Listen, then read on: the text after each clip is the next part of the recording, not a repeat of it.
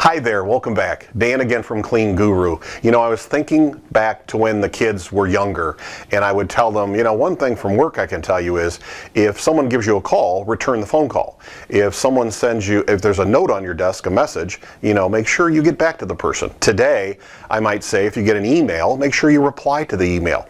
Um, I think it is important, but today I think it's important for other reasons, not just to be professional, um, like I did back then. I thought that was good, a good character thing. Now I see it differently.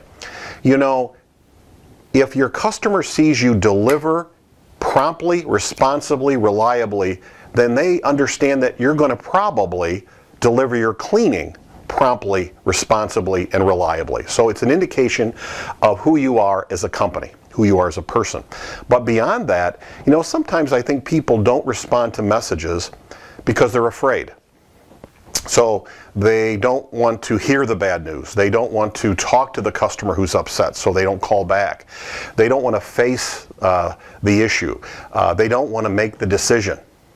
Well, you know, um, if we do those things, it can send a very powerful message to our customers about who we are. Because we do want to hear the bad news, because that's the only way through mistakes that we learn. We do want to take care of the problem, and we do need to learn to be able to make the decision and move on. So in our company, maybe it's the same thing in yours, every call, every email, we promptly answer. Why? Because we're not going to turn away. We're not going to turn away from questions or problems.